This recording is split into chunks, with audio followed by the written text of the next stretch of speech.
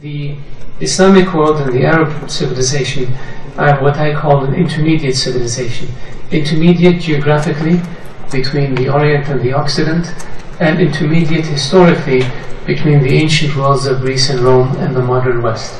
If it were not for Arab Islamic civilization, there would be no Aristotle and Plato and Socrates preserved from the ancient world to the modern world. If it weren't for the Arab Islamic civilization, the connection between the Orient and the Occident would not have occurred as it did.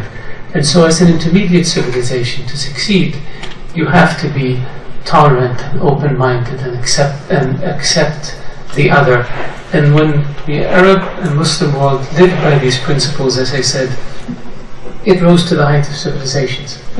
When darkness descended upon the Arab and Islamic world and it became more insular, uh, that's when we lost uh, knowledge, we lost innovation, we lost creativity, and as a consequence, we lost acceptance, we lost, uh, and it became uh, a stagnant civilization. What we're trying to do now is show people that the importance of education, the importance of tolerance, the importance of accepting the other uh, is what will drive, is what will shine a light onto societies and drive them to greater heights.